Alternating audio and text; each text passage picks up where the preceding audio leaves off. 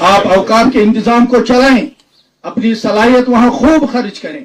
جو آپ کو اس کو بہتر بنانا ہے وہ بنائیں۔ لیکن شرعی مسائل میں دخل دینے کا حق کسی انتظامی آدمی کو نہیں۔